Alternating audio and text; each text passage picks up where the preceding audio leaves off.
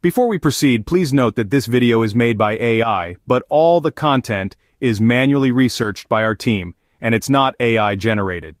In this video we're going to share the details for the Steam Deck error which reads, something went wrong while displaying this content. As per our research the error mainly comes upon opening the home or game library. According to our research the error comes because of any conflicting Decky plugins, using the SteamOS beta channel, having unchecked notifications, etc. But don't worry, we have solutions for all these possibilities. Before we dive into the fixes, remember to restart your Steam Deck and check if the error still persists. If it does, let's move on to our suggested solutions. Our first fix is quite simple, just switch between the desktop mode and game mode. Wait a few seconds before switching back to the game mode and then see if the error continues. Next, make sure you don't have any unchecked notifications. To do this, switch to desktop mode, launch Steam, and if any notifications pop up, check the box that says you have seen the notification. Don't leave any notifications unchecked. If this doesn't work, try opening the Steam page on another device and look for unchecked notifications there.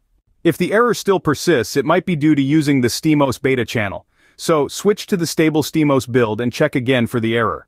Lastly, if none of the above solutions worked, the issue might be with your Decky plugins. Try uninstalling them one by one and see if the error gets resolved each time. To summarize, the Steam Deck error. Something went wrong while displaying this content can be resolved by switching between desktop and game mode, checking for unchecked notifications, switching to the stable Steam OS build, or uninstalling conflicting Decky plugins. It's all about trial and error and hopefully one of these solutions will work for you. Remember, technology isn't perfect and sometimes errors happen. But with a little patience and the right guidance, you can get your Steam Deck back up and running in no time. Stay tuned for more tech solutions and tips, and remember, when in doubt, always restart first.